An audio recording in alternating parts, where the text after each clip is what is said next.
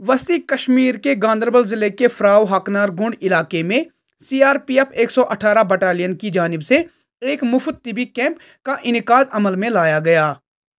तिबी camp में फ्राव हकनार और मुलहका इलाका जात से ताल्लुक़ रखने वाले दर्जनों लोगों ने तिबी खिदमत हासिल की। तिबी कैंप में माहिर डॉक्टरों ने मरीजों का मुआयना करने के अलावा इन्हें अद्वियात भी मुफ़्त फराहम की। मुकामी बाशिंदों ने फ्राव हकनार गुंड इलाके में मुनद किए गए कैंप के हवाले से सीआरपीएफ की सताइश करते हुए मुस्तबिल में भी इस तरह के मजीद कैंप्स के इनका की उम्मीद ज़ाहिर की।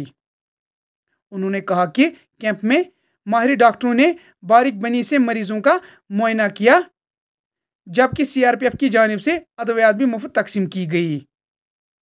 सीआरपीएफ के एक ऑफिसर ने बताया कि सिविक एक्शन प्रोग्राम के तहत फ्राव हकनार में मेडिकल कैंप का इनका किया गया, जबकि इससे कबल भी कई दूर दराज इलाकों में तबी सहूलियात के फकदान के पेश नज़र इस तरह के कैंप्स का इनका किया जा चुका है।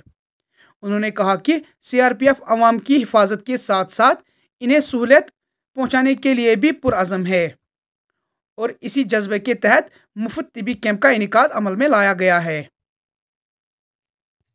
अउज़बिल्लिनशैतवानरजीम बसमीम मैं अब्दुलरशीद का साना हूँ। मैं आकनाट बी का सरपंच हूँ।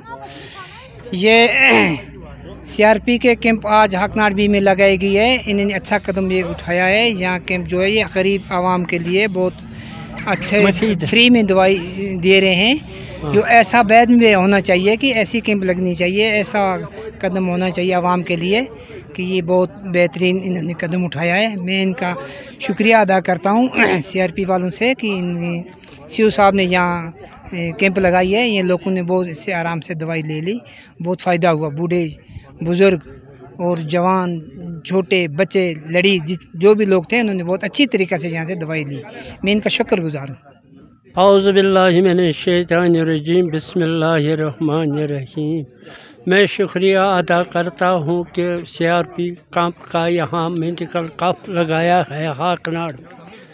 जो हाकनाड़ फ्राव हाकनाड़ का गाँव है इसमें। ये मैं शुक्रिया करता हूँ और इस्तः करता हूँ इनसे कि ये हर किसी गाँव में लगना चाहिए और हर गरीब आवाम को आराम आ जाएगा और गरीब आवाम को फ़ायदा हो जाएगा। ये हर किसी गाँव में लगना चाहिए। ये बेहतरीन कांपा है? बेहतरीन।